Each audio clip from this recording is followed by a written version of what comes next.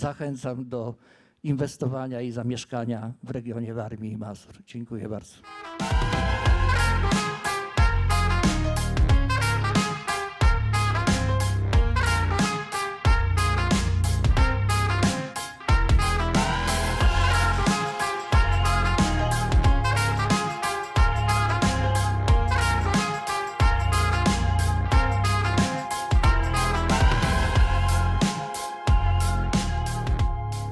No i przede wszystkim trzeba rzeczywiście oddać się w ręce fachowców. To, to mówię zupełnie poważnie. To, to nie jest rzecz dla amatorów, inwestycje w ziemię. Dziękuję bardzo.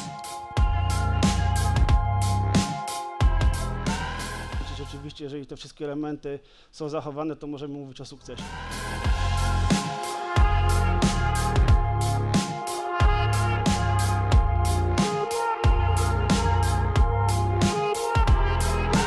Życzę Państwu miłego wieczoru, miłej zabawy, dobrych inwestycji i jak największych zarobków na nich.